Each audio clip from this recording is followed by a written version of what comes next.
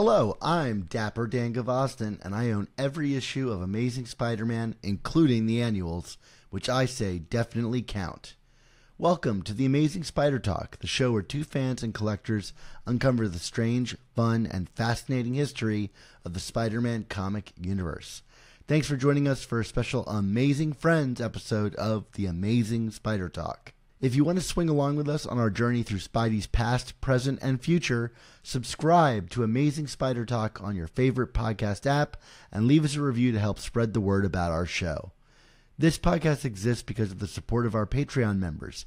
If you want to receive early episodes, exclusive artwork, and keep this podcast going, go to amazingspidertalk.com and consider joining our Patreon. Today on the show, we're fortunate to be joined by Cody Ziglar, writer of the current ongoing Miles Morales Spider Man series, which just celebrated its 300th issue. He wrote for Amazing Spider Man during the recent Beyond era as part of the rotating team of writers. Additionally, he wrote the Spider Punk miniseries and is continuing that legacy with his new Spider Punk Arms Race miniseries. Cody has brought a fresh voice to the Miles Morales comics, which Mark and I have been praising in our Substack at amazingspider.substack.com. Mark was unable to be present for this interview, so I was thrilled to sit down with Cody myself to learn more about his process, how he joined Marvel, and a few other surprises he shared along the way. We hope you enjoy the interview. Well, now let's meet one of our amazing spider friends. The kind of guy goes to other friends recommend. Find out about the things they created. You'll love them so much that you wish you dated. But you're just friends. They're an amazing friend. A friend, a friend, a friend. They're an amazing friend. All right. Uh, welcome to the show, Amazing Spider Talk, Cody Ziglar. Hey, how's it going, man? Thanks for having me. Nice seeing I'm you again. I'm so thrilled to have you. Well, Cody's saying, nice to see you again. We actually bumped into each other. Um, I say bumped, but I was headed there like a guided missile uh, to talk to Cody um, at one of my favorite local, uh, local to the valley here in LA, comic book stores, Galaxy of Comics. Uh, Mm-hmm. You were doing a signing there for. Um, I don't think Miles 300 was out yet. It was the debut of the the new Spider Punk Arms Race number Yes, one. Is that what it was about? Yeah, yeah, that was a big thing. Yeah. Um, I, also a shop I've never been to before, but one of my one of the coolest shops I've been into. Like they had, um, you know, obviously toys and stuff, but also they had like full stand up arcade machines, which I haven't seen in a shop in a long time. So like, I get why it's your go to shop. That place has got a cool, cool vibe going on. It's one of those rare shops that does really well for new books. It's got a great selection of old books if you want to go bin diving, and then. Yeah. they have this entire wing of the store dedicated to kids stuff. Yeah, um, cool. Which like I really appreciate because someone's got to get kids into comics. Yeah, exactly. Yeah. Well, cool. Um, you know, speaking of getting into comics, uh, for many of our listeners, uh, you first arrived on their radar during the Beyond era of Amazing Spider-Man. Um, but I'm curious, you know, like whatever our history is, what's your history with the Wall Crawler? Uh, when when did you first become a fan of Marvel and Spider-Man? You know, it's weird. I mean, I feel like it's it's like one of those things that's always just existed as a kid. Like, the I mean, I womb? watched, yeah, yeah. You know, it's like I watched the. I mean, I definitely watched the TV shows. Like, I played the games and stuff, and like, I was a big um, Marvel vs. Capcom fan. So like, I was always picking Spidey and doing like, you know, his his his his specials and like the web throws and stuff. So like, he's always just existed.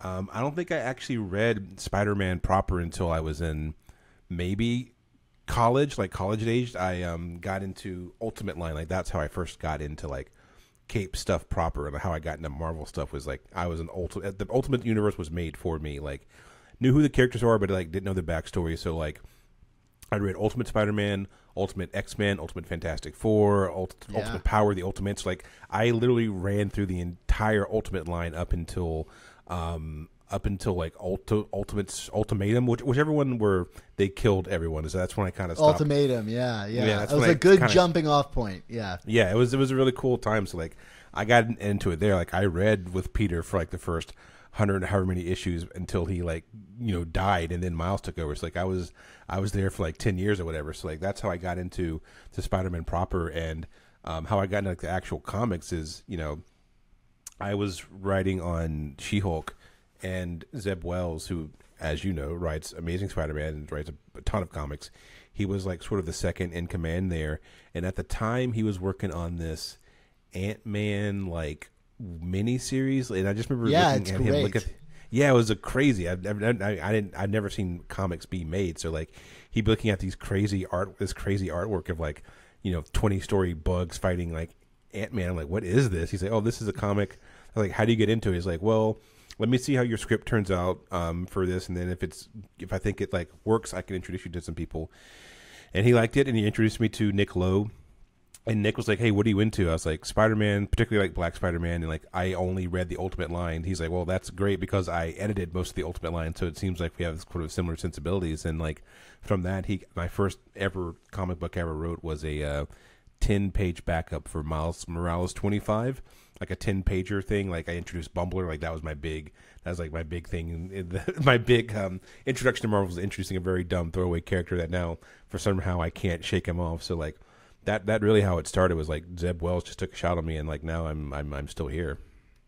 Well, that's so funny because like normally you have to kind of like work your way up the ranks through like C and D list characters on miniseries and things like that, and you're just like, he's like, hey, what are you interested in? Normally you're like, uh, Moon Knight or like Sleepwalker, and you're like, uh, wha- what about number one? What about Spider Man? yeah. let's just, like, well, let's just sure, shoot I our shot. yeah, like Yeah, uh, yeah. you know, closed mouths don't get fed. So like that was the big thing. Is I, I did Miles, and then I had to do like my first like book proper was a it was a terrible one shot. I mean, terrible on my part. The art was great, but it was um I think it was Heroes Reborn was like this event they were doing, and I wrote like a Squadron Supreme one shot where like Sure. um like the the B and speaking of D list, like the D and C list of the Squadron Supreme. So like you know Q and V list, and in, in actuality, we're fighting like Baron Zemo and his team of like um Thunderbolts or whatever. And I remember being terrified because it had to be thirty pages, and I had only written ten pages before, and I had no idea how to like cram struck. I was just like a, a nervous wreck. But after that, They're I like, got "Gi- back. give him the DC spin uh, spoof characters. yeah. exactly. I was like, oh, f- here we go. Uh, hope it hope it turns out well. Well, so uh, you know, I'm really interested in this because you're a creator who belongs in a new type of pipeline into comics, which is television. It Mm-hmm. used to kind of be the other way around that comic writers would use their credentials from comics to Yeah. hopefully write for TV because that was like the lucrative place to be. But um, Yeah.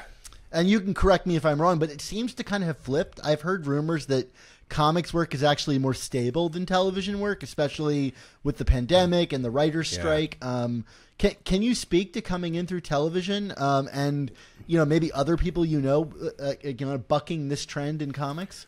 Yeah, yeah, yeah. I mean, again, I can only peak, speak from my perspective, but yeah, you know, the end game for me was always writing um, for Marvel Studios, and like one day I would love to write comics. I was always talking about how I'd love to write comics, even in the She-Hulk room, and um, you know, I, I I was lucky in that like the first job I ever got basically was Marvel Studios. So I was like, oh shit, now now what do I do? And like my first comic thing was Marvel Comics. So like I think from my perspective, like, you know, it, it definitely it it's definitely easier. I think in my experiences to go from TV to comics if you have written for like a bigger property. Like, definitely it's much easier to go from you know She Hulk and be like, oh, this is co-signed by Kevin Feige. Like Kevin Feige has read my writing and he likes my writing, so like it's easier. It was I found it much easier to be able to go from that to like writing Spider Man as opposed to like, oh, like I'm writing Spider Man into writing for like you know Miss Marvel or whatever. I think that's just sort of how it sort of worked out and like even from our generation and my generation, I'm, I mean, like those um,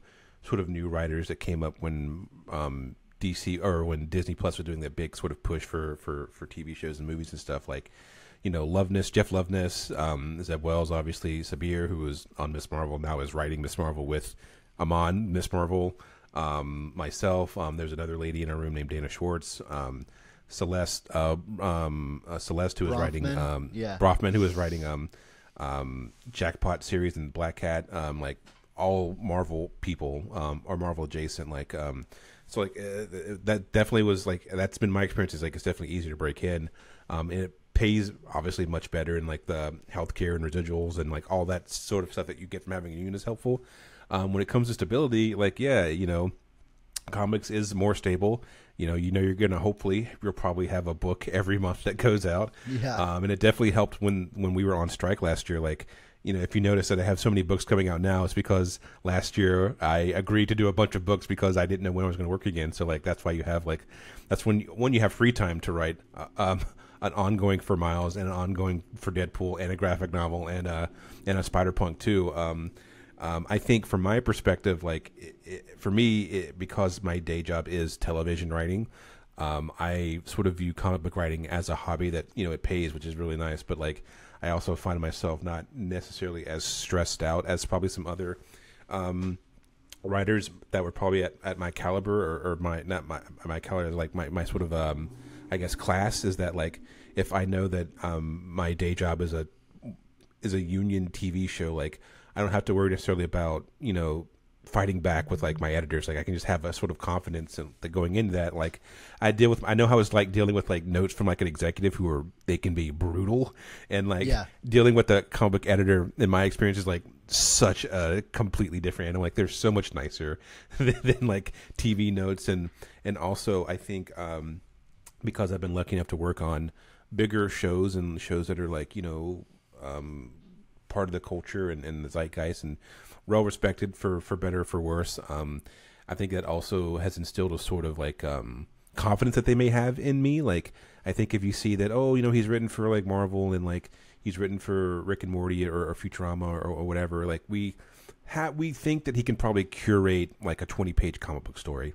Um, I think also because of that, like I may have a little bit thicker skin when it comes to like criticism and like ignoring um ignoring like I I don't I don't read reviews uh very rarely rare for me to read reviews like I would hardly ever go on Twitter and like look up my name or like if someone tagged me like I would I would never I, it's very rare for me to flip that coin and see what they're saying it was something good or something bad but like I think when you when you make something like and you know that you know millions of people have watched it and they all have opinions on it.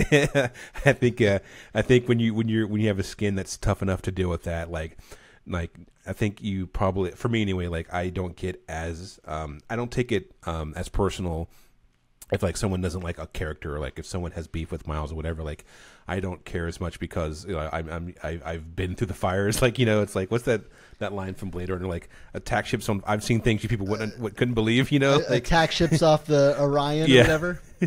Yeah. yeah, yeah, um, yeah. know. I, I'm I'm so curious that you're saying this because like um you know I, I exist in both worlds. I uh was a film critic for a long time, Yeah. and I Mm-hmm. consider myself a comics critic, even though I'm not appointed by anyone to that position like I Yeah. was a film critic. Um, but like I find that like comics readers and and some of them not, aren't readers but still have a very strong opinion te- Yeah. tend to be even more opinionated and uh, vociferous about that opinion than uh, people in television and, and film are. Uh, Is, Mm-hmm. As someone on the receiving end of that, you say you don't look, but clearly you must have some kind of like uh, uh, way to read the temperature of it. Do, do you find that accurate? Like the comics people are very passionate about what they comment on. Um, yeah or, or it's no? it's yeah it's it's such a different thing it's i feel like comic book reading at least for the majority and again i don't have any science for this like it seemed, it's so much more um active i think than watching a film or or, or tv show. Like i think it's really sort of maybe it's sort of in the same sphere as as video game where it's it's not as passive because if you're a comic book fan like you know you you have a local shop that you go to you get in your car you take the bus or you ride your bike or you walk or whatever you go there.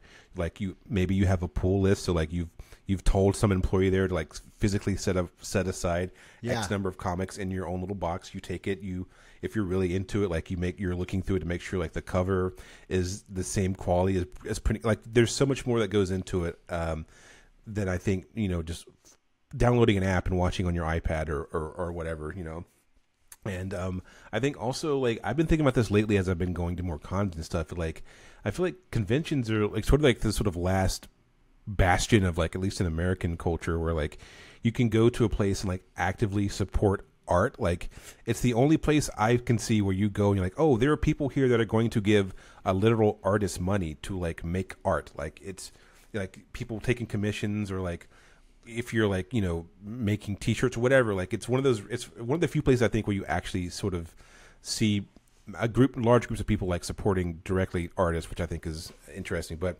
yeah you It's know like at- also at any moment a bartering system might break out. yeah, truly. Like, hey, I have this number one. Will you trade me this? Or, you know, Yeah. it's it's so interesting, and, I, and it's cool seeing like uh, uh, art be supported in that way. Um, but that's my long-winded way of, of building up to, yeah, I think comic book fans because of that are um, more engaged and like also there's this unique cross section where like like you said like you may not even read comics. You may just like collect because you like the art or whatever. So like you know it, it's one of those things where people will come up and be like hey i love this cover. I haven't read the story but like i love these covers. And i've collected like three four five six different variant covers of like a one thing of a comic that they may not even read. Or like there are some people that come up and like hey um what uh, no one's ever said anything like really rude to me. It's always been like um hey uh make don't don't basically don't f- up Miles or like, hey, can you bring this character back? Nothing. No one's ever been rude to to to to, uh, to me in my face, but like, you know, I've I've had other comic f- f- creators who uh, have had fans like not intentionally, Oh. but like you know, you know, you're a little socially awkward or like you're meeting someone like they say things that backhandedly can be very insulting and like you know they take it on the chin, but it is it is funny watching someone get insulted to their face and like watching them sort of choke it down and be like, yeah, you know, maybe next time, maybe the next arc will be better. Like, I personally haven't had that happen, and I knock on wood, it, it doesn't happen. But um, I think also, I also came up doing comedy, so like, you know, bombing on stage is like the worst feeling on the planet. So like, Sure. I always like I, I people not liking a thing and telling me in person isn't it isn't as bad when it's a whole group of like 200 people silent in an audience being like you know what? This isn't funny. So like i think also i've sort of had an armor built up that way. Well, comics used to also have this kind of like protective barrier around it that was like the letters Mm-hmm. page, and now like on Twitter and social media, like, Yeah. you you can get directly you know uh, in the face, and like I look at someone like Dan Slott, who was kind of the first like big guy like killing Spider-Man off in the age of Twitter. You know, um, was Yeah. you know uh, sparked a huge backlash, and I've long joked that the like the fastest way to create fifty thousand enemies is to be the lead writer of Amazing Spider-Man, and uh, you know I think Zeb is probably going through it right now himself. yeah Um, yeah it, it was uh, funny watching um, oh sorry i didn't mean to cut you off no, go ahead. No, it, it was funny watching when the whole Kamala stuff was going down, and like he he had told me like you know months before the the plan, which is like you know came like Feige was like, hey, um, I don't do this very often, but like, can you please just like do this to like make things in line with with Marvel because we have some stuff we want to do with Kamala. So he's like, "I'm the guy that drew the short short, short straw. People are going to be very mad that I have to kill Miss Marvel, but he was It like, definitely felt like he drew the short straw, and not like that was his intention. Yeah. Yeah, and, and, and it's, it's sort of I felt bad for him because people didn't know that like this you know, she's gonna quote unquote die. It's comic book. She comes back, of course, but like you don't realize that like when she dies and comes back, like the Miss Marvel is going to be like writing her. So like, I remember when he told me that, I was like, oh, that's so cool. People are going to like lose their minds. Well, they're going to lose their mind because she's died, but also I think people are going to like really be excited that like you know for the first time that like you know uh, an MCU actor is like going to be actively participating in like creating like the lore of the character and like comic books proper which is like you know sometimes they'll like write short stories but like having actively engaged in like a run or like a miniseries is a pretty big deal and like you know Iman is like an enormous comic book fan which I think anyone knows who who follows her or her Sure.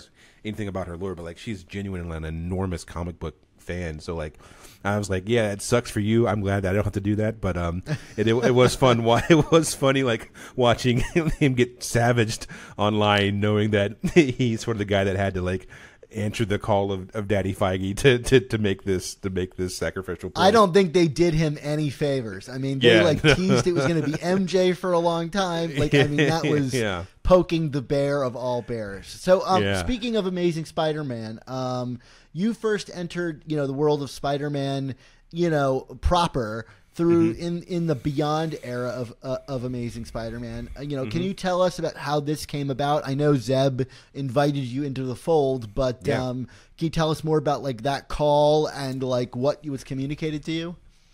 Yeah, so like you know, like like I said at the beginning, Zeb and I had worked together on She-Hulk, and Zeb is a TV guy. He had written for Robot Chicken forever. He had his own show, Supermansion, for like three or four seasons. Like he's a guy that's been a- around the way, and um, you know, we would always talk about how um, we love the collaborative effort of, of the feeling of like a writer's room. He's like, we don't really see that for comics. Like we have like these retreats where like, you know, we'll talk about big picture stuff, but like never in like the nitty gritty of it. He's like, I I would really like to try that for like uh, like uh, uh, basically a, an arc for like a, a comic book series. So like he basically just like got together all of some of his favorite writers like Saladin and Kelly and and and and myself and um and Patrick and um he was like, "Hey, uh, this is what we're going to do. Like, this is sort of the overarching narrative, like a TV room, like where we're going to get to it." Um, and uh, but unlike TV, like I'm not going to like rewrite you guys. Like that's that's that's like sacrilege to do in comics. Like if another writer rewrites someone, like it's like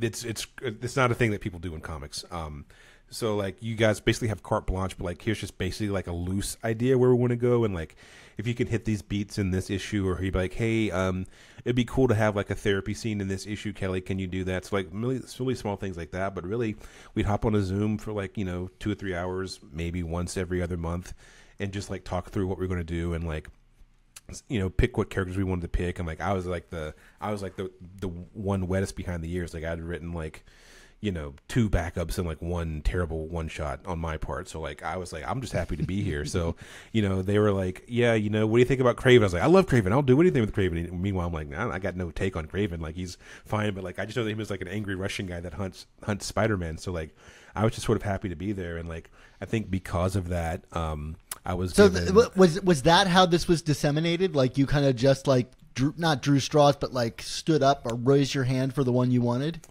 Yeah, so like Saladin was like, well, since I'm Saladin was writing Miles at the time, so he's like, yeah, like it would. There's not a world like there's no reality in which like there's going to be a new quote unquote Spider-Man that would interact with like the other Spider-Man. So he's like, yeah, Ben Reilly, who becomes like the um, I guess the Manhattan Spider-Man is how we're sort of breaking it down. Like he's he becomes like you know the red and blue Spider-Man, and Miles is black and black and red Spider-Man. So he's like, yeah, they should interact. So like since I'm writing Miles, like I'll write that or like. Kelly was like, "Yeah, I want to like I like Misty Knight and and Colleen. Like I want to do something with Daughters of the Dragon." So they you know put them together, and I was like, they gave me they gave me Kraven. They gave me a list of people. I was like, oh, I can I can do I can I can find an angle with Kraven, which was like. Um, you know, I had two issues, and like the whole premise is that like this big corporation backed Spider Man, blah blah blah. I was like, I could see a guy like Kraven like being sort of irked that like the purity of the hunt is um is being messed up by this um this this this big organization. And um then they offered me like a, a dr octopus thing. I was like yeah that'd be i would always want to write him. He's fun. He's a goofy guy. Like it's something it's very rare to write like one of the quintessential like spider-man rogues. So like they offered me that and and, and they're like we have room for like one like sort of like um standalone thing with like him and aunt may. Do you have a take on that? It's like yeah it'd be fun to write like a uh, detective thing with them where they're like disgustingly horny for one another and like uh, that was like my main thing. And like we would pitch stuff every every now and then. But truly the big the, the coolest thing is that like when you have your script done you're like man i don't know if this is working or not. Like you could send it into like the slack and have like kelly thompson or zeb wells or so whoever like read your comic and be like hey this is working this isn't working. So like for me it was it was cool just having like a team of like some of the best writers in the game and some of my favorite writers like i cannot sing the praises of kelly thompson's black widow enough like it's one of the absolute best runs of any comic book but particularly black widow like it's like her her it's just really really really well made and i can't express that enough so like Yeah, no, I, I love her. Captain Marvel too. It's really yeah, wonderful. yeah Yeah. she's one of the best writers out there in the game So let me ask you about this. You know, I, I love the writers' room um, uh, kind of concept for Amazing Spider-Man, Mm-hmm. especially if it's going to be twice a month or three times a month. And I, I don't know what your history with the title is. Um, like you know, all the way back in the Brand New Day era, they they sampled that, and and was, Zeb was one of the original people um, who worked during that era with the th- thrice monthly book, and Yeah. you know, about five or six different writers. Um, but like, I do think that it requires kind of like a a steady uh, hand from an editor to kind of keep everything feeling like it fits together, you know, uh, and stuff like that. I mean, uh, did you guys like talk about the kind of overall arc uh, of it and tonally how things fit? Um, you know, i- in there, and th- this is not offered as a critique in any way. I'm just genuinely curious about like how hands-on editorial was and like what role they played in helping you guys. Who I imagine like this 19 part thing, it can be Yeah. sometimes hard to see the forest for the trees. Yeah, I mean, again, this is for my since I was like the newest one there. Like, I'm sure they didn't hold. They may have. I didn't have the much contact with them outside of like the Zacks and like or Slacks and like emails or texts to Nick, but like because basically it was like Zeb. Um, we knew Zeb was going to be taking over Amazing Spider-Man after that, so like it was more like a way for him to like sort of like clear some runway for him and like get like have a fun arc and then like sort of land into like his new run. So like it'd be like you know we had like a giant Google Doc with like everything that's happening in every single issue, like major beats that need to happen, like through lines, um, and like sort of like ideas and stuff. So like that would be checked. We could always check that, or like if um, you know, if you reference something in an issue, you would get like an email from from Nick or text me like, "Hey, um, this actually is going to be happening in another issue," or like this character is popping up over here, blah blah blah. Like there's sort of that like minutia that you get with editors is like um that I really appreciate is that like oh uh I don't know what's going on. I don't know what well, I don't know what the status quo is for this character because I didn't know they've been appearing in like 15 other books since then. So like that was really helpful. But um, for the actual like structure and through line, a lot of it was like just in a doc, and then also Zeb was spearheading that. So like you could for me, I mean because we're friends, like I could get a text from him like, hey, can you massage this a little bit, or can you put these like here's some like areas I would need for a line to help me set up for this issue. Could you put this in there? And you know, because I come from TV, I was like, yeah, of, of course, like you know, a rising tide Sure. lifts all ships. So like I'm I'm used to that, and also it's nice that I get to do the rewrites where usually like you know you, you pass your script off to your showrunner and then like you're sort of done with it. So like. um like I said, Zeb made a point to be like, "Yeah, I'm never going to rewrite anyone um, because like that's just not what you do in comics." And also, these are my suggestions. Take them if you want to, but it would help the overall narrative if we could get sort of get to this place. So, uh, like you know, in terms of like timeline, you know, you Mm-hmm. you came on, you know, in the Beyond era, kind of came in, and again, I don't really know your history with Amazing Spider-Man, but like Mm-hmm. the Nick Spencer run had been going on for a long time, and you know, I, I, this is speculation, but like the end of it seemed to kind of.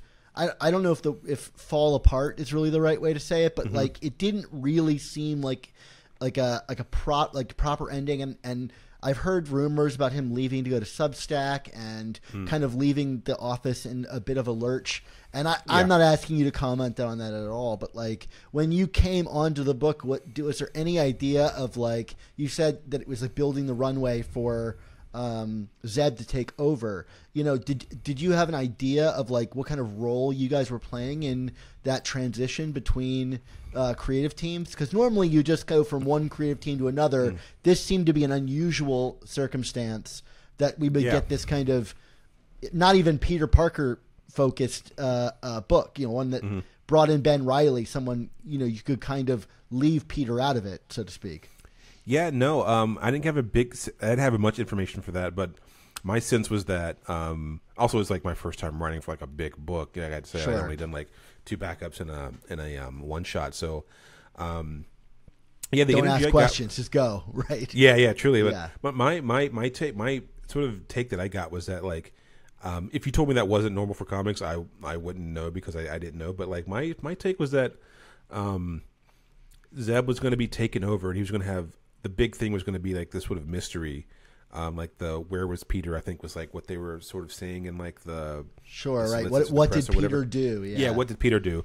So I think they also wanted to do. I think they also wanted to like shift the status quo for Ben for Reilly, Ben Reilly, um, and that's I think that's where they also the pitch for the name Chasm came from, and like where where that all that sort of mo- there's a motif in the in those 19 issues of like him missing a face, whether it's like Sure. a flashback with his his his um uncle Uncle Ben or himself, or I guess his biological uncle Peter's I guess uncle in the in the time that it happened. If you're a clone, is it still biological? Uh, Yeah, who knows? Yeah. Questions to ask. Yeah. Um, but no, like I yeah, my my takeaway, my my thought of take that I got away was that like let's since we're gonna have this switch up between artists or between writers, I guess. Like it would be fun to just have this sort of like sort of self-contained arc in Spider-Man, which is like it's not it's not Peter, so it, it's Ben, but also it was a way to get a bunch of people that haven't sort of dipped their toes into Spider-Man, and I think for me, if I had to guess, it was a way for Marvel to be like, all right, can this guy write like a, a full issue of like a Spider Person? Um, because I went from that to Spider Punk, which I think was like their test for me to see if I can write like, you know, more than two issues back to back of a Spider Person. So I think for yeah, I, I, it not to interrupt you, but um, like uh, again, I bring up the irregularity of it, which is to say, like, Yeah. Amazing Spider-Man is normally not a tryout book. You, you- Yeah. you know what I mean? So like, Yeah. it's cool that you were really there, and I th- I like your issues a lot. But Mm-hmm. uh, but I but I was I, I just find it very curious the whole thing. Yeah. Um, yeah, I, I don't know. Um, I can. I the, the ego in me wanted to be like, um, Zeb probably had like a lot of sway because he's going to be taking over Spider Man and like Totally. he's worked with Nick for a while, and I think they enjoyed enough of my one shots with Miles and the or my backups with Miles and my one shot with um with um Heroes Reborn, and I, I really think a lot of it just went to Zeb vouching for me and um and um and and then like I think this is sort of like not on, not unlike TV where like I think a lot of people think that to be a TV writer you have to have like the best script or the best writer, but really there are like sort of three piles that that are like, like that a showrunner looks at. Is like here's the best thing I've ever read in my life, where like you should be running this room. Here's the worst thing I've ever written, which like you should never touch a script ever again. And the third pile, which is like, oh, this is good, and like I can see their point of view which is where an overwhelming majority of writers land is like, oh, they're competent, they can do the job, and I can see their point of view, and they could be massaged and get to the place they want to get. So I think for me, it was like, oh, this guy can obviously write for a serialized show. Like he came from the most serialized um, studio on the planet uh, at the Yeah. time, anyway. Um, he has a quality like he we at the at the time like I was the guy that brought Daredevil back into MCU proper. Like he wasn't, um, he hadn't been, he hadn't been shot for, um, what was it, Homecoming? Was that the or Far From Home? Uh, Like- yeah, he you know he was in um uh, uh No Way no Home. way home. No Home, yeah, yeah. Um, so like originally that was going, to that was supposed to be She Hulk, and then they let's get Daredevil back in there. But so like I think there's a lot of trust from like that, and again, a lot of it I think was like Zeb vouching for me, like, hey, um, I'm going to take a risk on this guy. I think he's really good, and I think they enjoyed my scripts enough to sort of warrant that. Um, and then also like I was very adamant, like, hey, look, I want to write Spider people. Like I don't, I love, I love Captain America. I love Iron Man. I love, I love Thor and Hulk. But like, if they're not doing jokes, like I don't want to write the book just because that's my point of view. And also like you know, a, I was a comedy guy. Like you know, it was me and Zeb were like the two comedy guys as far as like we made our living writing comedy professionally on TV. So I think that also went went a long way for for for for for me getting on that book. Well, I got to say, hats off for the boldness of everything you just said. Hopefully, I didn't get anyone in trouble. But again, I guess maybe I'm cursed by working for TV. I, like I, I don't have to be as uh, uh, on my, my, my toes when it comes to. Oh, I, I, I don't mean boldness in in terms of reveal. I mean like that you were like, I'm gonna go play in the big leagues. Like Oh, I'm yeah. gonna I'm gonna write Amazing Spider-Man, and I'm gonna, you know, like it's it, it is a big spotlight to throw on like a new writer. And, and Yeah, I mean, I, um, look, I think a lot, also like at the time I was I had just started Rick and Morty, so I was like, I mean, this job, this that is not an easy job to work on. So I was like, No, I'm sure if I can not. sur- if I can survive this, I can s- surely survive, you know, Spider Man, and luckily I survived both. So I think that was also very few people can survive Spider-Man Twitter or any, any, any Yeah, of those yeah, things. yeah. But um, yeah, I lucked out. Um, so you know, uh, but before we move on to like uh, your uh, kind of like Miles stuff, I am curious, Yeah. you know, uh, uh, about like the research that goes into writing like something Yeah. like Amazing Spider-Man, because like there's a bunch of different camps, you know, that, that you you can get fall into, which is to say like you can be obsessively obsessively slavish to the continuity, or Mm-hmm. you can kind of write, you know, um, uh, kind of I don't know if I would say evergreen tale, um, Yeah. but you you know you can you you can leverage the continuity f- to tell better stories. And Mm-hmm. you worked with two characters or two villains, and uh, not to mention Ben Reilly, whose background Yeah. is about as convoluted as they come. Um, the the fact that Marvel made a 19 part series that took over Amazing Spider-Man around a character that difficult to understand the backstory of Mm-hmm. is amazing to me. Um, but uh, I mean, uh, you know, I and again, I'm a fan of the Beyond run, so uh, you know, Yeah. Uh, but I thought it was very refreshing. But um, you know, you tackled like Kraven and um, Otto, and uh, it's funny that you know uh, you mentioned like the kind of like Slack room, and, again, this is not meant as like a knock or anything, but um, your Kraven, like Kraven had recently been rebooted completely, like in the previous run to be like a cl- weird clone. It was like this whole Yeah. thing. Um, and Zeb brought that back in his run recently and did something really, really interested in it. But your story with Kraven doesn't like bring it up at all and i'm wondering if that was like a choice on your part to just like not wade into that territory as as a writer or you, you know if if that's something you guys were like let's not focus on that or because at the time it felt like uh, reading your story, I was like, "Oh, are we just get going back to regular Kraven?" Um, Yeah. Which uh, you know, frankly, is like uh, you know might be refreshing because the clone thing is weird. Yeah. Um, but now we're back to him being a clone again, and so I'm kind of curious. You know, obviously, I imagine you're reading the Zeb stuff now, and you've Yeah. and you've read that like he's very much like trying to live up to his father's legacy, so to speak. Yeah, yeah, yeah. yeah. Oh, well, uh, tell me about this because like uh, I, I'm just kind of curious about like the Kraven of it all. Yeah, um, truth, I did. Yeah, I didn't put much thought into it. I was like, one, like I write stuff that I think I would want to read, and I'm like, if I'm coming, also I, I think the perspective of like, actually, this is something that Nick really that said offhandedly when I first got to writing comics, and I think it may be one of the most useful pieces of like writing sequential story for like one of the big two is that like. No matter how well established this character is, or this book is, or how much it sells every month, this is going to be someone's first comic book ever. This is going to be someone's first time read like they know who Spider-Man is, but they have no clue, or do they really care honestly between Peter Parker Spider-Man, Miles Morales Spider-Man, Ben Reilly Spider-Man, Kane, um, and so like, or they don't know who Kraven is. Like they're like they could they'll Google it and they'll look at Wikipedia. Russian Hunter, hate Spider-Man. Okay, like so I was like, okay, that that seems good to me. And also I was like, I got forty pages, two issues. I was like, it's gonna suck up so much time if I had to explain.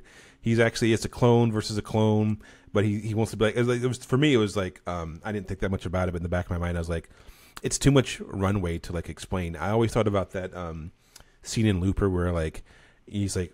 If I have to explain, if I explain time travel, like your head's Yes. gonna burst. And I'm like, if I have to explain the intricacies of like one clones, how they work within Marvel, and like who the Jackal is and what his whole deal is. I was like, it, that that could be 19 issues of just unpacking how clones work. So like, my thing was that like this is gonna be someone's first time reading this character. Like, here are the major beats of what you would probably read in like a general Kraven story. Like, it's not unlike um like getting onto a show that has been going on for a while. So like, you have an archetype. Like, we know what Rick kind of does in a situation. Sure. We know what Morty kind of does in a situation, or or or Hermes or or Fry or Bender, whoever the character is, and like that's sort of my approach for that is that like two story like two issues get in and out um like i'm only going to be here for five issues total counting doc ock and and and the one shot i was like i'm not the guy cody zick was not going to be the guy that cracks open the, the pathos of, of of the kraven clone in in his in his first um soiree into um amazing spider-man. And also none of it was just like i was so f***ing nervous. I was like Yeah. this is my this is my big shot. Like um doing a lot of story circle stuff. Like i was just like all like I'm, I'm sure people know who that is but like what that is but like just like really going over like making sure like structurally like it made sense and like Sure. do the beats make sense so i was i was thinking like if i f- up this like i i've seen dan slott get death threats for writing an issue that someone doesn't like it's like am i gonna be the guy that gets literally like death threats because I fucked up Kraven, so like or, or whatever my story was. So like that was that was that's my long-winded answer saying long-winded Yeah. way of saying um it wasn't my forethought. Like I was I just wanted to write like a good Spider-Man story and like since I was only since I was basically just like a day player like it's not for me to tackle or have to worry about that. Like I let Zeb tackle because I knew he was going to be doing bigger stuff with his run, and also like I was too scared of to even think about talking about the clone stuff because I was just focused on writing um, two structurally sound um, Spider-Man comics. Thanks for answering that honestly. I- Like, I, Yeah. I, I'm I'm uncomfortable to ask it because like uh, I, I, I, we our podcast you know we review and criticize these Yeah. issues and reading the issue I was like you know kind of bummed that like Yeah. we didn't address that but like I'm also not aware of the rea- like all of the realities of what's going on behind the scenes and what anyone is trying to value in the 20x pages that you have you know so Yeah. Also, like, I have like my day job was back. what Yeah, no, I, I also like my day job. Like, also, I was writing for a full TV show at that Yeah, time. That gig, totally. Um, I actually remember that point of time. I I was writing it around like May, June, July of whatever, whatever. I think I, I wrote. I think we write. I think I wrote it like six months before it came out. So like whatever time period that was. But like, I remember I was writing those two issues, trying not to like lose my mind. Writing my episode of of of Rick and Morty, and like that was my first time writing for them, so like losing my mind over that.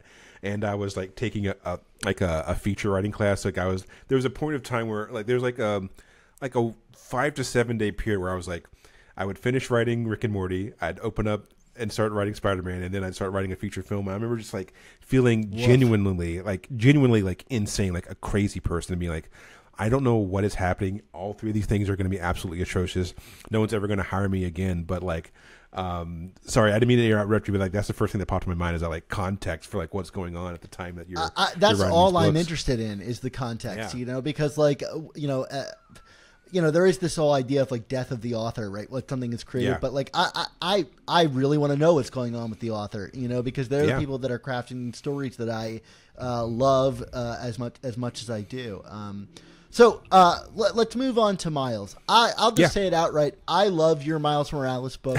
I know, like this is an I thought, interview. I was going to go but- the other way, but like this is fuck shit. This is no, terrible. no, no. I, like, I, th- this is an interview I know, and like normally I don't like let my guard down, but I, I, Yeah. honestly think it's like so far the definitive Miles run. Oh my God, thank you. And I, I'm really enjoying it, um, and I can't wait to see what you're you're going to do with it next. Um, but uh, I'm curious, you know, like. How did that come about? That you you know you've kind of hinted around, like, you know, how Mm. you got the Miles book, but like, what what was that like? What kind of things did you have to put together to pitch something like that, and to be the guy that took over after like one an industry legend Brian Michael Bendis, then like Yeah. Saladin, who's like an Eisner Yeah. Award winning guy, Yeah. and then it's like Cody Ziglar. He's done a couple issues of Amazing Spider-Man. You know, Yeah. Uh, I remember getting the getting the um, email and being like feeling like a pit in my stomach for him. I was like, "This is like a dream." Like I don't have it right. I just moved into a new place and my stuff's not together. But for um, I have the first. The they they did like a combined issue of the first three issues of Miles when it when it first came out, like issue one, two, and three. And I remember I bought that at that point. I guess 12, 13 years ago, and I've had it bagged and boarded, and I keep it.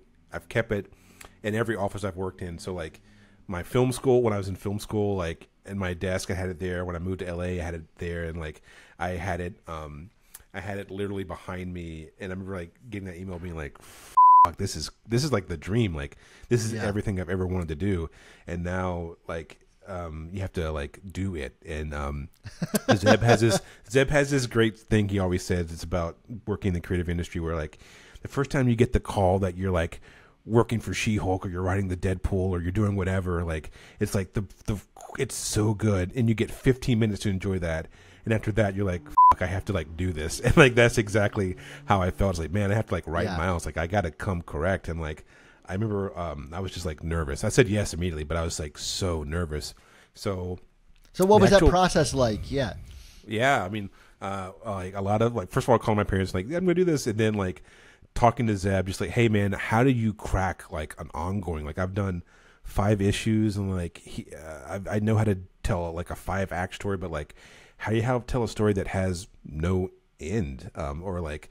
If you consider your run in and like you know how do you tell a hundred and forty issue or for solid forty two act story like that's crazy.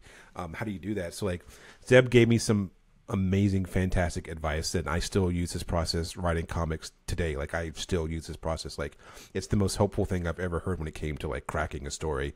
And he gave me his. his he said, "This is what you need to do to write like a first, like a, a run, like a five issue thing. Like this is the structure that works for every single comic.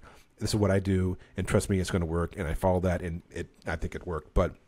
I talked to Zeb and I put together like a pitch doc of like what I wanted to do, what my take was. Like my take was that like first of all, it's hard to follow Saladin because he's a fantastic writer, but also he went so big and he like did the cool shit like going to multiple universes, fighting future versions of Miles, fighting clones. I was like, I don't know. I'm, there's no way that I can touch that right now because I'm such I'm so new to the game of like writing comics. Like I don't think you'd want to. Like, do you want Yeah. to out wacky that? Like that was yeah, pretty, yeah. pretty also, you don't ride, want yeah. to. Yeah, Yeah. It was so big, and like I think only Saladin could have made that work. Like, I knew that I couldn't do that, nor that I wanted to do it. So like my take was like I want to do like more grounded, more street level. Like I also was very. I think I literally wrote my my doc that's like I want to have a bunch of black people in this book. Like I'm. It's, it's crazy to me that like there's this black Puerto Rican Spider Man that's like 16, 17. He doesn't hang out with other black superheroes because like if I had spider powers, the first person I'm calling is like Luke Cage or like Misty Knight or like you know I'm I'm seeing what's going on like So like I, I made a big point about like yo, this is gonna be a big um theme of like, you know, mentorship and like black um black camaraderie, black community and stuff like that. And uh, I want to really like lean into like his like supporting cast because I think Saladin did a, I mean both of them did, but like Saladin really, really, I think he knocked out of the park when he created Starling. I was like, that's such a gold mine of a character, and like, it's a shame that she hasn't had much to explore with outside of like Miles stuff. So I was like, I definitely want them to be a part of the life, but also, I one thing I really loved about the Spider-Man Miles Morales video game is that like they gave Miles his like enemies his own age, but also like a woman. Like I, I think she, I guess you could say a woman. I think she's about eighteen. Like she's an adult. Like, like, like I feel like you don't see like um women like rogues very often. I feel like when it comes to like Spider Man, like Miles Morales Spider Man, I was like, I love that. I love also that like she had a connection to um to to to Miles. So like my big takeaway was like grounded, um, um, street level stuff, and then also introducing like new character, like new villains and new supporting cast, and like have it sort of be like more family focused, like friend and family focused.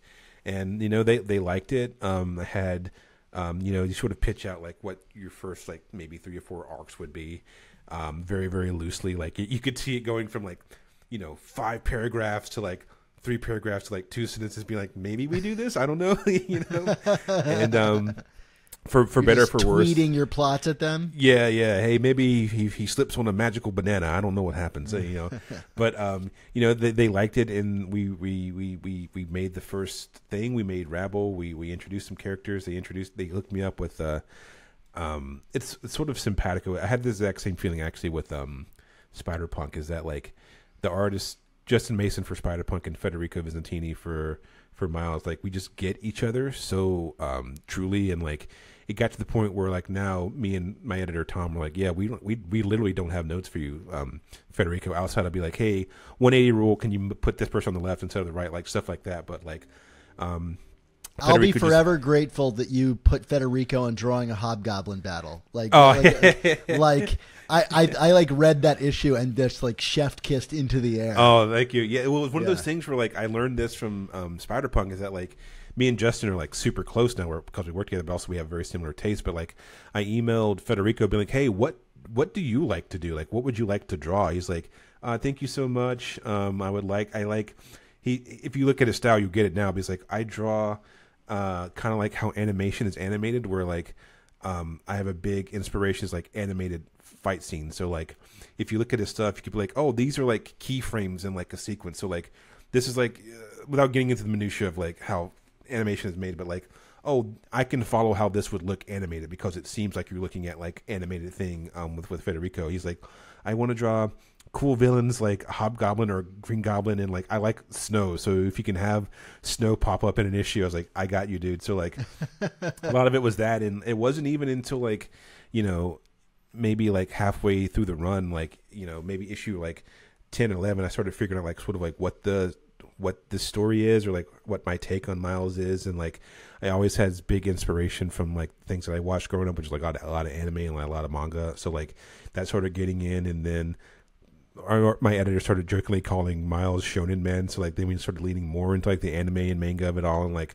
now i think we're in a really good place but um yeah Three hundred. was He he went Super Saiyan. Can we? Yeah, can we just yeah, can yeah. we just acknowledge that? Yeah, yeah, yeah, yeah. It's like it's one of those things where like you know it's like that domino meme where like you know one here and one there. It's like one I watched Dragon Ball Z at ten and like you know the latest Yeah. domino is Miles going Super Saiyan and, and Miles Morales three hundred. But like yeah, I just put together a doc of my thoughts and they seem to enjoy it. And like now we're at the place now where we have a bunch of characters and like I'm always thinking to myself, man, I wish I had more issues to like follow this arc or like introduce this character like i get i've gotten i've gotten a real appreciation as i've sort of gotten along with miles um it's that like the fact that anyone writing more than 15 issues of a thing can like make it work is very impressive to me like um like the fact that dan slott has made as many good comics and they make as much sense as they make knowing the structure that he has to work in and like knowing how the nature also i only ship once a week or once a month so like having to do that twice a month, sometimes three times a month, is very impressive. And like, I understand while sometimes you like Akira Toriyama, who recently passed, creator of Dragon Ball, they'd always make fun. they'd always be this running joke that he would forget about characters. I was like, yeah, I get it now. Like, yeah, I completely you forget about characters because you you're in this unique space. Speaking about the process of like creating, is that like it's sort of like that Doctor Manhattan meme where he's like on Mars, he's like, "It's 1945. I'm watching a thing. It's 1960. I'm doing this." Like that's how it feels with comics. Is that like, you know, you're writing a piece of of of, of art that's that's that comes out now and has to exist now, exist now, exist now, but then also at some point is going to be collected and like a trade paperback, so it'll make context in when like you're reading a story as is intended all together at once instead of like once a month and waiting 30 days. And also at some point to be collected into an omnibus so like it'll have greater context because you have the the entire run together. So like i found myself recently in this place where like man it's it's it's a unique struggle um, for myself writing um, a piece of, of art that makes sense that has to exist both now in the future in the deep future and also retroactively in the past by having to connect stuff that happened with two writers before me. And I'm lucky in that like I only have two writers before me. Like I only have Bendis and Saladin. So like it's not like, you know, Amazing Spider-Man which has been on for 60 70 years you know stan lee was writing you know yeah. amazing spider-man so like it's it's a unique um, skill set and something that i've become deeply appreciative of as i've written more miles like uh, i'm starting to write miles 23 now and i'm like the fact and i'm also i'm writing miles 20 so like you get to the point where you're like you're writing things out of sync and they still have to make sense. Like it's a unique skill set, and um, I've become deeply appreciative of, of definitely all the artists and, and, and writers and editors, particularly the editors um, that are on these like long form projects which do not have an end um, to the story because the story has to go on forever. You know. Well, I have two responses to that. One. Uh, in Amazing Spider-Man number one, Stan Lee called Peter Parker Peter Palmer, so like, you know, even the greats can slip yeah. up uh, on something very major. And two, um, like it's long been held that the longer a Spider-Man run goes on, the worse it gets. Yeah. Even Stan Lee and Steve Ditko couldn't hold it together past 33 issues. Yeah. Like that run drops off a cliff after that yeah. point. So, you know, like uh, you're in you're in good company if you're worried about that kind of thing. good. You know? um, yeah, and I love both Justin and Federico. I actually have, uh, if you're watching, uh, uh, if you're a listener and you're watching on video, I have a a, a, a, a Mason piece right here and a Vicentini piece oh, right here good. from years ago. So like, I feel like I've like spawned it into an existence. Yeah. Uh, y- your career uh, uh, jumped out of my imagination, Cody. is what I think I'm trying to say here. Oh, I appreciate um, you you willing it to existence. Yeah, that's it. Um, so. I, I'm very curious. Uh, your Miles has such a distinct voice uh, compared to the previous creators, and I, I mean it literally. The writing for his dialogue oh. on the page. Um, Thank you. Can you talk about developing that voice and your rationale behind it? Because, like, I've always thought that Miles never read different enough from Peter Parker. Like, oh, he yeah. always just felt like Bendis was like, well, I'll just write a slightly younger Peter Parker. He'll joke like mm. Peter Parker. But your Miles to me is the first one that truly feels like his own unique guy. Oh wow, thank you. Um, you know, I wish I had a very deep thought answer or a big thesis, but really is like I just write how I talk and like I, I, I, I write how um how I talk with my friends or like how like I, if I go to my group chats, I'm like, yeah, this is the uh, yeah, this is how we would talk in those interactions, and like you know, you got to clean it up a little bit, obviously for for comics, but like yeah, um, my thought process was that like you know he's a black Puerto Rican kid who's in Brooklyn, like he probably talks like how me and my friends or my cousins talk, you know. So like, mm-hmm. um, it's a lot of it is like just like flavoring like dropping G's off of words or contracting things or like um, you know, even like my my girlfriend has a 17 year old daughter and like even the way that she talks with her friends is like i mean i i sound like a grandpa next to, to them so i but like yeah you know you know when you're a, a, black person like you talk differently like you know without even getting like coach code switching all that stuff but yeah you know miles is like a young kid in like new york brooklyn of all places like he, that's how he should talk to me anyway and like um I just channeled that, so it was like very easy one to one, and like you know, obviously I have a different sense of humor than than Saladin or Bendis, so like that informed it as well and also like you know i am like a comedy guy so like when it comes to structuring jokes like i think of things that way too but like a lot of it is just like he miles just talks how i how i talk like and, and how, Uh, yeah, and I I, I, talk, I you know? think that's wonderful. I'm I'm so glad that you've brought it to the book because it really has brought such a distinct uh, uniqueness to Miles. Like Oh, and thank a, you. And a time and place uh, Mm-hmm. for the character that uh, you know I think was always Bendis's intention. Right? He was like, Mm. if we were to invent Spider-Man today, he'd be a you know a kid from Brooklyn. And Yeah. then you know, no, this is no knock on Bendis, but I don't know that it read like a kid from Brooklyn, and and yours yours does. You know, like Mm. Oh, not that you. Like completely savvy on what's going on with like teenagers in Brooklyn, but you know, uh, Yeah. I just used the word savvy. So like, uh, but um, anyway, um, you know, I guess I, I yeah, I'm, I'm curious about how you as a writer, um, like judge that and create that for yourself. You know, like if you're writing it on the page, you know, are are you saying it out loud to yourself to kind of hear Oh. it, or like like what's your actual process as a writer for something like that?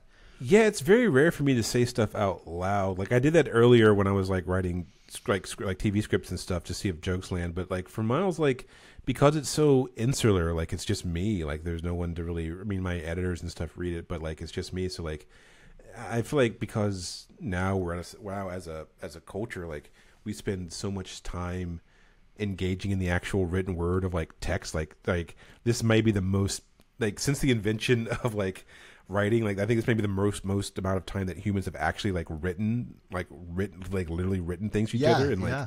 and because of that like you know because if we spend you know if we're on our phones conservatively like conservatively like five hours a day of those five hours four of them like we're probably texting people or three hours we're probably texting people so like because we, I, we spend so much time or I personally I spend so much time like literally writing like I I just like that it seems to so it seems so natural and like there'll be certain things for like characters that like you know like like um um like Hightail or or who's Dominican like a, a black Dominican woman or like um Rabble who's like Jordanian who are like I'll talk to my friends who like my friend Sandra uh she's Arabic um and like I'm like hey does this make sense? Like like it feels weird to to me for like uh, a kid to just call their their their dad father. It seems so like structural. Like it seems so Yeah. so like so stringent. Like what would she say? Like oh probably baba. Like that's what i would do. I was like oh yeah then i'll use that. Or like um like you know I had, I had a bunch of Puerto Rican and, and, Dominican homies when I was in film school, and like they would argue about food, uh, who has the better food, all this all nonstop, and like same thing with like Nigerians and, and Ghanaians, like they'll argue over jollof rice. So I was like, those sort of like things that you see, it just seems like that should be in that world to make it seem a little bit more lived in, like a little bit more real. Sure. Um, so like if it, if it's something that I'm not feeling that I can necessarily tackle or have the best grip on, like I usually just like hit up a friend and be like, hey, does this seem real to you? Because like the last thing I want to do, because I know this feeling is like you read a book and it seems like. "Hey, How you doing, fellow kids? Like you want want to go to the skate park, and like it just seems so inauthentic and so corny that like that to me would be like my my death. Like to me, the worst thing would be like writing like a a corny character that's not intentionally corny that like you know reads as like untrue or, or false, and like so like I'm I'm always very cognizant of that. So like yeah, I, I just I you know I, I I'm used to writing a lot, so like that's how I write and like that's how we speak, and I think it, it just happens to translate very well for Miles. Um, I it's funny enough, like I had someone sort of bring this question up a couple of weeks ago. I was like, who who is it harder to write for, like Hobie or Miles? And I was like, it's interesting because you know they're both like young black Spider Men, but like um Hobie does have like he has a different cadence to me than than Miles. Like he's like a little bit more aggressive. Like he's not afraid to like kill, but like um Hobie, I think because he's in a world that's so like dystopian, is that um he's his earnestness reads so much more bigger to me than than Miles. Like if you read like Spider Punk, like he's very different from like movie Hobie in that like he's very earnest and like he's very happy with his friends. Like he's very stoked on life because everything around him fing sucks. And like I think if you took that earnestness and put it into Miles, it would read like a little cornier. I think. Um, just because he's like so gung ho and Miles is like, hey, I like my friends and stuff, but like, I don't know. Uh, that's something that I've been thinking about a lot lately too. And your question just sort of brought it up to me. I don't think I have a definitive answer. I don't know where I was going with that, but that just popped in my mind as I was rambling on.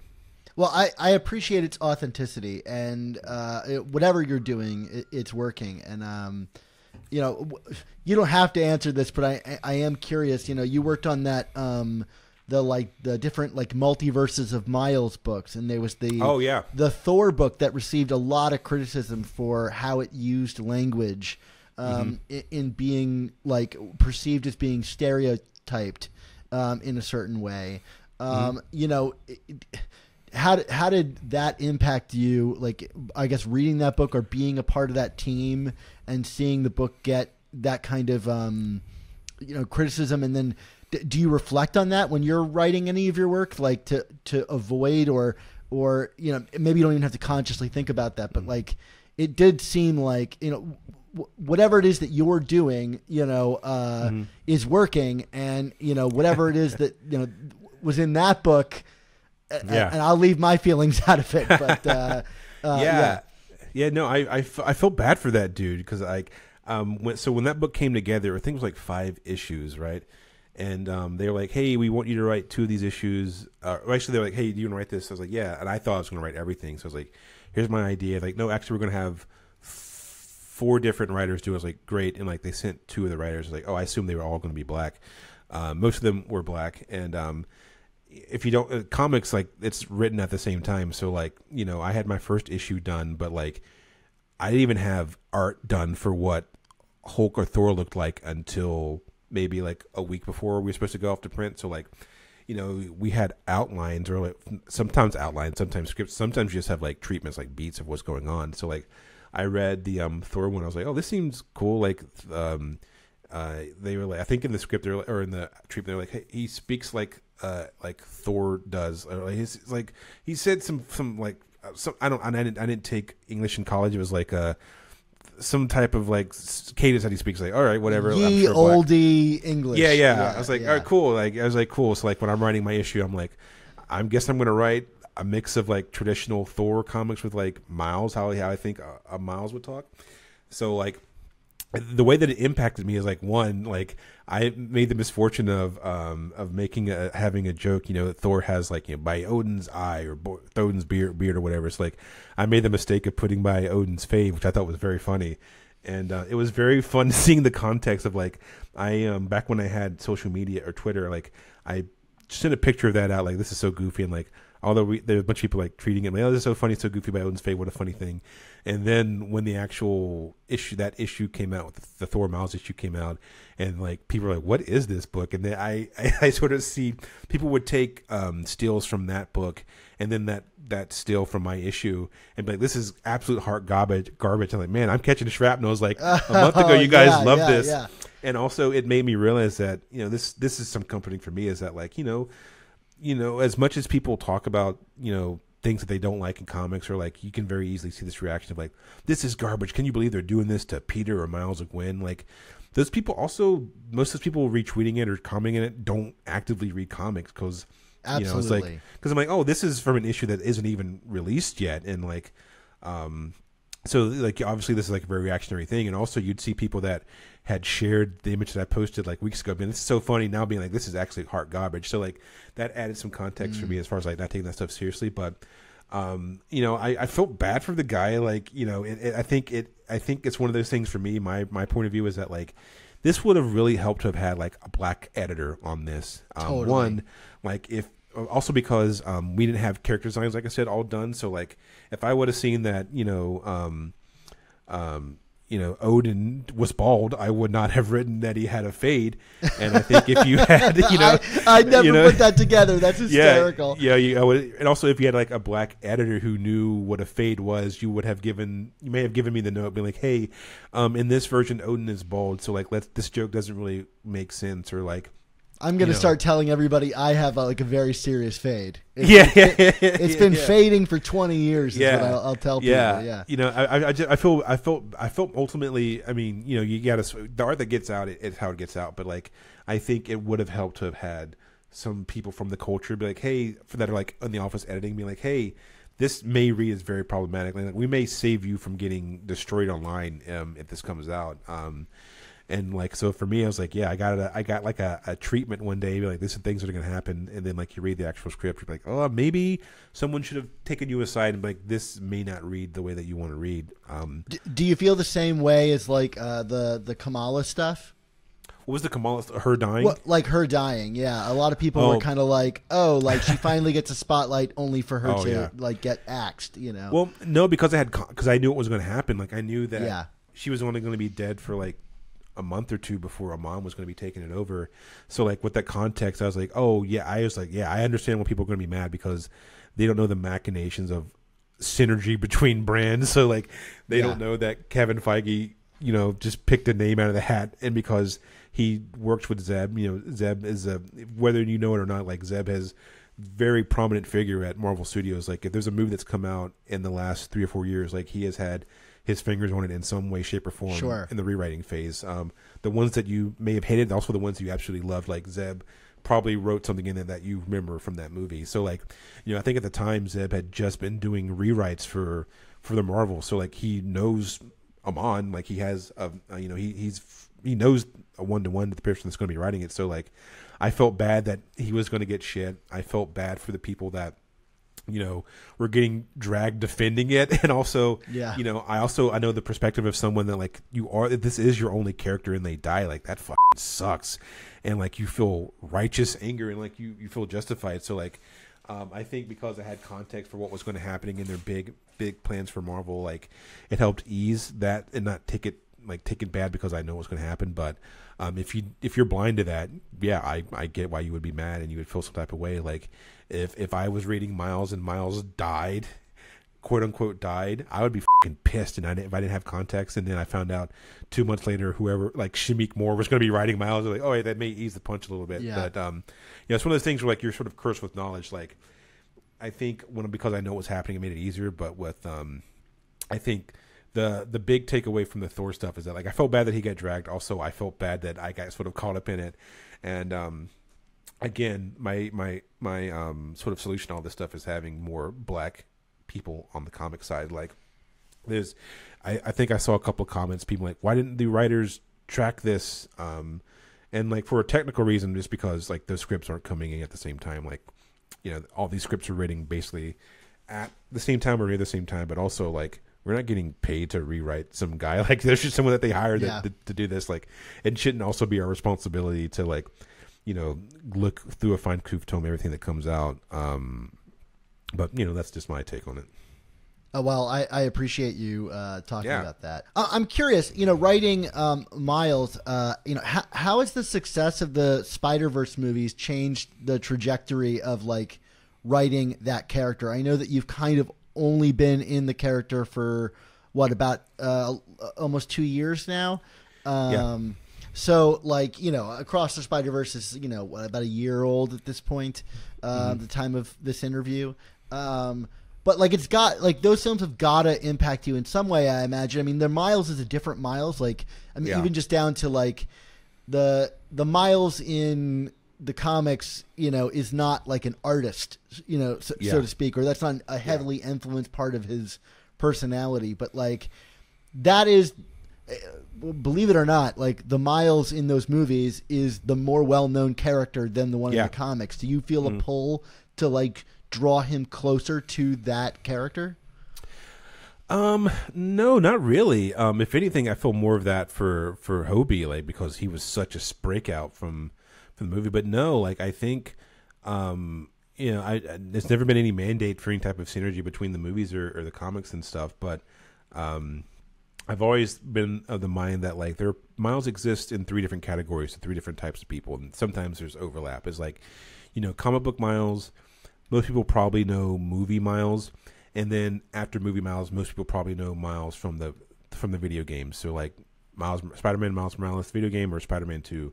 So and like there's obviously a lot of those overlap, but like as far as like eyes on screen, like if Spider Man Two was like the best selling game for PlayStation for that year, that means that millions of me, millions more people are reading or playing that game than they are reading the comics and like however many millions of people saw Spider Verse. You know that's that's how it is. Uh, that is to me. So like those are also three very distinctive miles, and like there's some overlap, but like they're three distinct personalities. So like that's how I have sort of viewed it. Like um, they're different different people. Like there's no real um interplay other than like stuff I think is interesting. Like um um like I thought like I said I thought the Tinkerer was very interesting from Miles Morales Spider Man. Like she was a big influence on Rabble, but um, there wasn't like a mandate that I had to make this character. It's more like, oh, this is cool. Like I would like to see more of this type of a character um, in this archetype in Miles's world. And like, if there's something that happens, well, actually, I'm sort of lucky in that like I don't since I don't do any multiversal stuff. Like, I don't really have much influence from the Spider Verse films. Like, I feel like that was more like Yeah. solid and stuff. But like,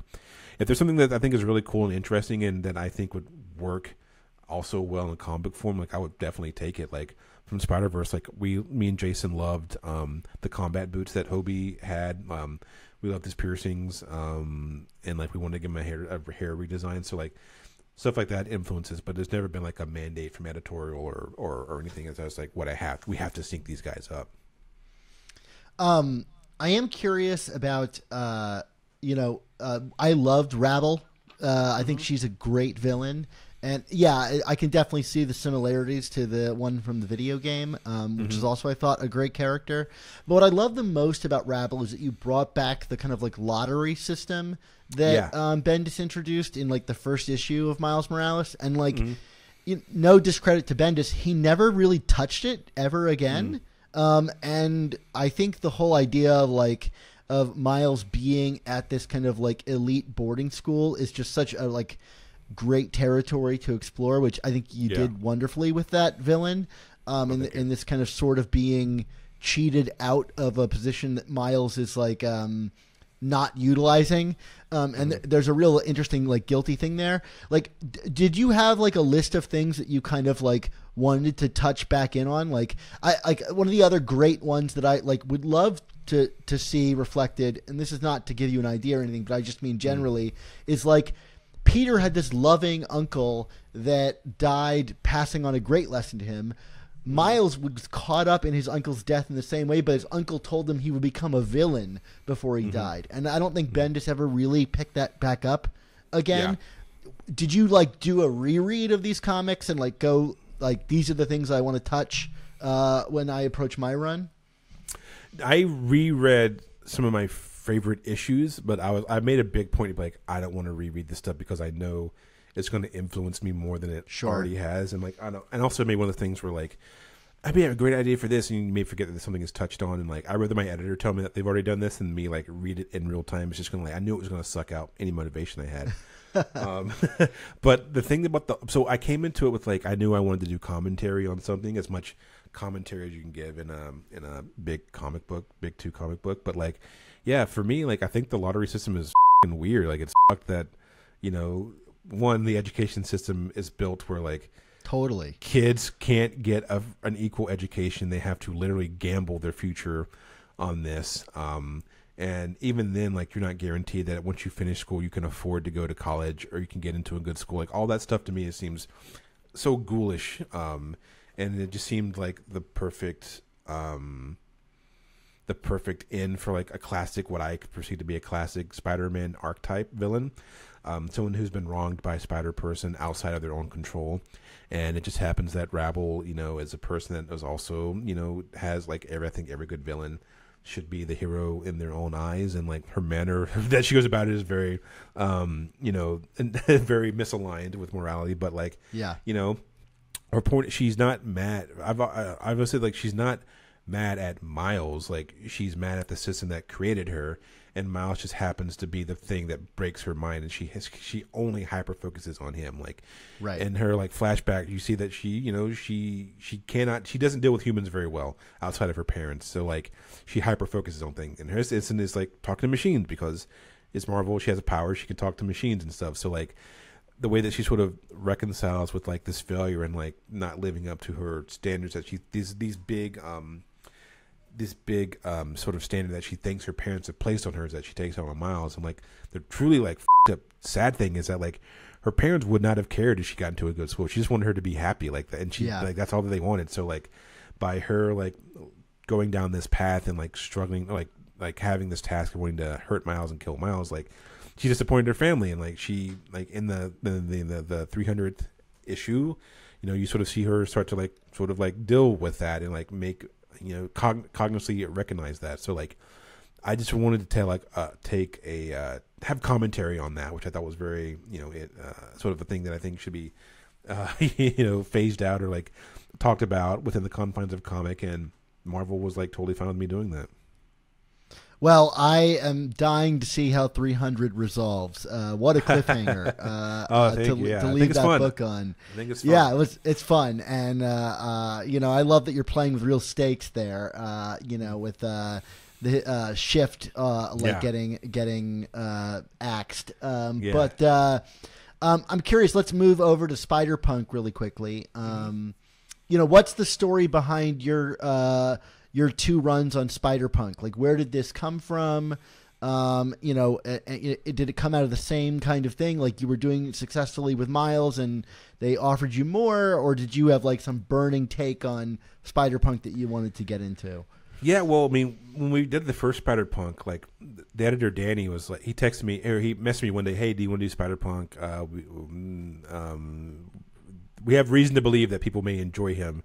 We may have a certain in- resurgence of like interest in him." I was like, "All right, well, he's obviously in the next Spider Verse movie." So we we made that, and like truly, like we said this in every single email, like Justin. Um, um, Danny and our even our colorist Jim, like we were like, this is the most fun we've ever had making anything. Like the most fun I've had writing, the most fun Jim has had doing color. Which I think if you look at the colors for that book, like it's some of the coolest. Jim takes such big swings that you don't traditionally see in that type of like superhero coloring is I think usually seen in one lane and Jim goes the complete opposite direction. Same thing with Justin. Like we just had so much fun making the fing book. And once Spider Punk came out, you know, the trade paperback was the best selling thing that year for Marvel, hands down. Like it's Wow. It, it went through I think three printings. It was we, we it was the biggest thing that sold for Marvel that year. Wow! And, uh, congratulations. Thank you, and and I think also you know because he was such an enormous hit in the movie, we were like uh, we were me and Jess would be texting like when are we can we do another two? When can we do another two? And it's like I think because people love him so much and it sold out this much, we can definitely do a number two. So like we just basically browbeat Danny for weeks and finally was like all right boys we're coming back for one more ride. Uh, so like you know that was really it and. um Again, this is so much fun we've had. Like this one, because the stakes are so much lower. We wanted to do stakes lower. Like, you know, how do you top killing the president of the United States. Like we just decided to go, you know, a little bit more self-contained in the neighborhood. So like this one is a lot. Um, we've had a lot of fun as far as like references and like inspiration. Like you know, not spoiling anything. Like it, it we, you can see the stuff that me and Justin are into towards definitely issue three and four. And like, Do you just so have a much fun. background in punk rock music? Is that something you've been Oh. into in your life? Yeah, yeah. I was in a bunch of shitty punk bands when I was in high school. Oh, Like, I wow. played guitar. Yeah, I was. Uh, we were terrible, terrible, terrible bands. But I, I was in the, the scene, as much of a scene you could have in rural North Carolina. Like listen to punk music, played punk music, still listen to punk music. Um, I made a uh, a Spotify playlist when I was writing the first Spider Punk, and like everything on there was stuff that I was. It was a mix of stuff that I listened to when I was in high school and college, and like newer stuff. But like, yeah, that playlist is a pretty good amalgamation of stuff that I was into when I was growing up and stuff that I'm into now. So like, yeah, How, I- I how'd you get into? I, I was part of the punk scene, believe it or not. Oh, cool. Uh, Yeah, yeah. Uh, but I'm a little bit older than you, and so like I'm always amazed when younger generations are still into punk. Yeah. Um, I don't know uh, how. I mean, I, I just look at Gateway Drug. You know, you, you listen to Blink One Eighty Two, and then Okay. you hear like Sum Forty One, and then like you see someone like a Dead Kennedy shirt. You're like, what is this? And like you listen to Dead Yeah. Kennedys, and then you start getting into like zines. Like I think Maximum Rock and Roll was still a thing that was around there. It's like a lot of zines, and like you start reading like the Punk Dead book, the the punk books. Like um, what was the big one? Um, uh, uh, I can't remember. There's like a big like punk autograph autobiographical book that came out that one of my friends read and like we got into. So we got into like the Damned and like you know the Queers and and Richard Hell and all the all the stuff that people are into now. Like yeah, social that D look- and stuff like that. yeah, yeah, you know, it's before Spotify or like Google. So like, Sure. you, like you just had to have someone's like cooler older brother to like pass along like his crappy beat up um mix mixtape that he made for you. But like, yeah, that was was like my my favorite band when I was in high school was like Dead Kennedys. Like I was. I listened to Give Me Convenience or Give Me Death like maybe every single day of ninth and tenth grade. Like that was like my band. And um, when I got into college, I got back into it again. So like, um yeah just that, like i just fucking loved punk and like the idea of writing like a black spider man that likes punk i was like this is the easiest thing in the world with my you know my my tattoos and piercings and at the time i had like wild pink hair and I was wearing like combat boots. So I just like, yeah, this is totally what I was like, Danny, you you could not ask for an easier thing for me to do than to write write a book about a Spider-Man that lives in a punk universe.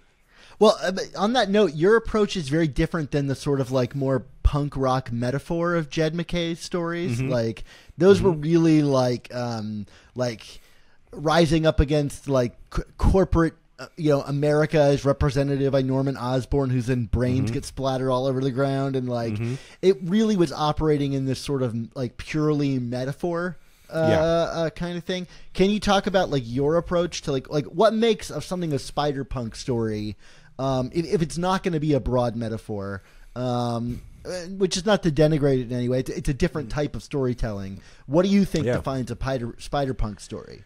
Yeah, well, I will say that Jed actually had a lot of DNA was taken from Jed, particularly um, the story where he does um, kill Osborn for the first time, but like the coloring, Sure. like the um, that that sort of energy, like I really resonate with that. Um, I think from my point of view is that like I want to take that, but also not make it seem so like dour. Like I think there should be some joy in this world, and like for me, I was like I remember being like you know one of the few black kids in my super southern conservative hometown, and like when you have that like found family, like that's sort of like what brings you peace, and like you can be mm-hmm. hard and cold to the world or outside of you, but like when you're with your friends, like I feel like you should let your guard down a little bit, and like part of that was like I want I think it would be cool like I think Hobie has two two two faces as we all have many faces. But like when he's facing down like Kraven or Osborn, he has his hard face he'll doesn't give a shit up whatever but like he should be excited to be around his friends and like I really wanted to build community into it so that's why he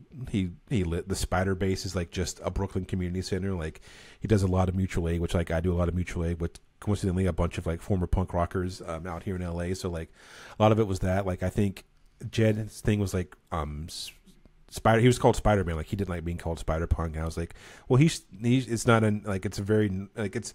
It's a for me. It's a one to one culture, like a black thing. Like take something that you don't like and then re, re retake it and recontextualize it and empower yourself Sure. by being called that. So like that to me was like Spider Man, or Spider Punk of it. And I was like, well, what can I talk about like um like culturally wise that like they will let me talk about so i was like well i mean over policing fascism like um like like it, can we just like out and out kill the president and they're like mm, i guess and, and they're like the only thing we won't let you do like originally i wanted to have um all the cops in washington have the punisher logo and have frank castle be Oh man, that would have been so great. Yeah, they're like, we can't, we can't, we can't do that. That's that's Oh, we, we have we, we we just absolutely. It's not going to be worth us dealing with the headache of doing that. So okay, but like, you know, it's a lot of it. Like if you read the, I mean, it's, it's very broad, like you said, but like you know, Wilson Fisk, he's a capitalist who has taken over a city and he like hoarded all the wealth for himself, whether it's medical supplies or like food and like you know the way that they take him down is like someone from that community, which is Matea, taking him out. And like you get to to DC and it's just a police state with like all these like far right conservative neo you know alt right folks that support Osborn with like like saluting his literal statue of him in the Lincoln Yeah. Memorial. So like, you know, it's you know as close as we could to being like, hey, we these are things that we don't support over policing. Like, you could have Hulk say Hulk smash all cops. Like you can, like you have to be broad because for me, Yeah. like it has to be like a little goofy. Uh, and in order for you to like get that message across, and like that to me is what I found worked with that. Um, and I think, you know, I think it's one of those things with like you're also writing a book that has to appeal to like people from a large age range. Like Yeah, yeah. eight year olds are reading this because it has bright colors. There are people that are like our age reading it, people that are older, and like you know, I would the- not give an eight-year-old Jed MacKay Spider Punk books. Yeah, I would not do that as well. But funny enough, my first comic I ever got when I was around that age was Spawn number three. My dad bought me Spawn number three for some reason. Uh, he obviously hadn't read it, and that book is not something that a, a, an eight year old should read. But um, it's one of those things where like, how do you, how do you have commentary on a social issue which you think is important or uh, a cultural issue that's important?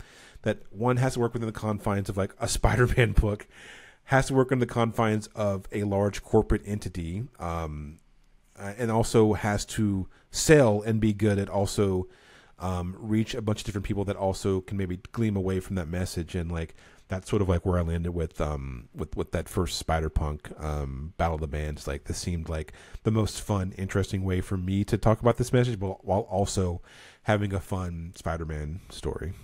Man, I, I so connect with that found family element. You know, like Yeah. even if you watch like classic punk documentaries, like Yeah. Ano- another state of mind or something like Yeah. that, where like you see the true bond isn't even really the music; it's like the people you find who are maybe coming from bad homes Mm-hmm. Yeah. and find a sort of family in the band culture. And Yeah. I really got that out of out of your book as they're in their Oh, their, thank you. their spider van driving around the country. Yeah, I mean, also that Um, was like some of the fun is like going on like a tour, like getting in your friend's Yeah. shitty station wagon and going to play a crappy church show was like the coolest thing you could do in that age. And speaking to like the, the community of it all, like you know, if you you seem like you you know your punk history as well, but like Sure. you know, a large a large section of those punk people growing up were like black and Chicano and like Yeah. people of color that was sort of erased from the history of punk rock. So like when I made the book, I was like, yeah, we should the Spider Band should be all people of color. Like that's that just that makes sense with the history of punk rock and like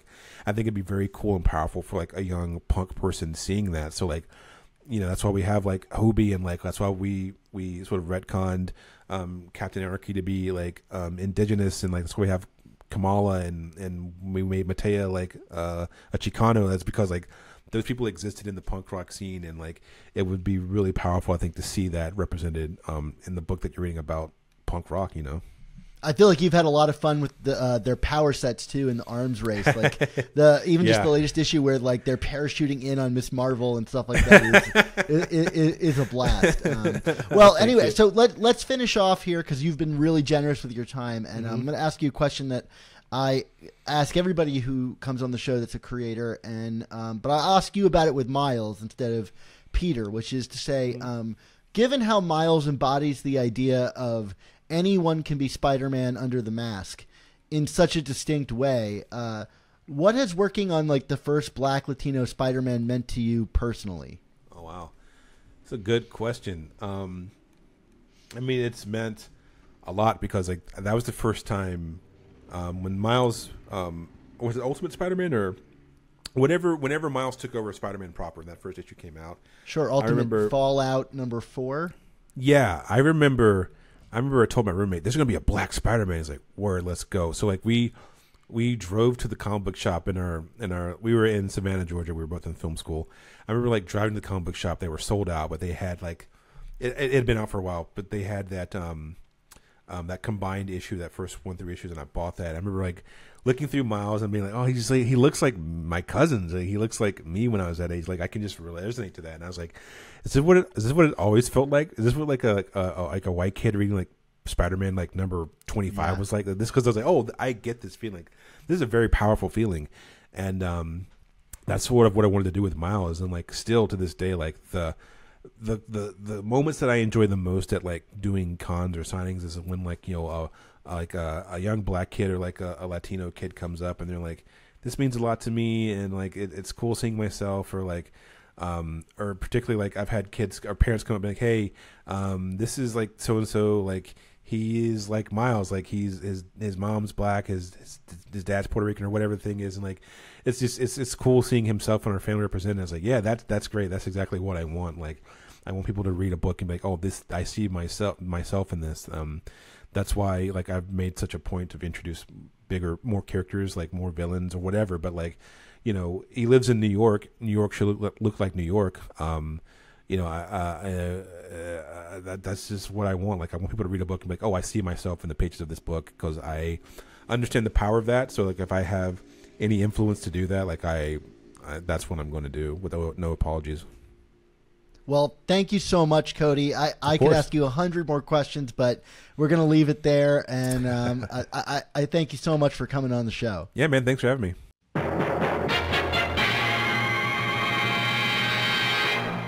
All right, it's that time. Time for all good things to come to an end. So we wanted to say thank you to you, the listeners and viewers, for tuning in to this episode of the Amazing Spider Talk. And an extra special thanks to Cody Ziglar for coming on to talk to me about all of his work with the Spider Office. This podcast exists because of listener support on Patreon. For only $3.99 a month, you can help support our show's existence while getting early episodes, including these reviews the same weeks the comics release, exclusive artwork, and a ton of other bonuses. Thank you to everyone who already supports us and the work that we do. Mark and I really want to increase all the awesome work we do in 2024, including more interviews with modern creators just like this one. So if you are already a patron or want to become one, please help us to meet our goals and make this a better podcast by considering supporting our show. Just go to amazingspidertalk.com and click on the big Patreon button to get started. So, until Odin starts rocking a fade, our motto will always remain with great podcasts, there must also come the amazing Spider Talk.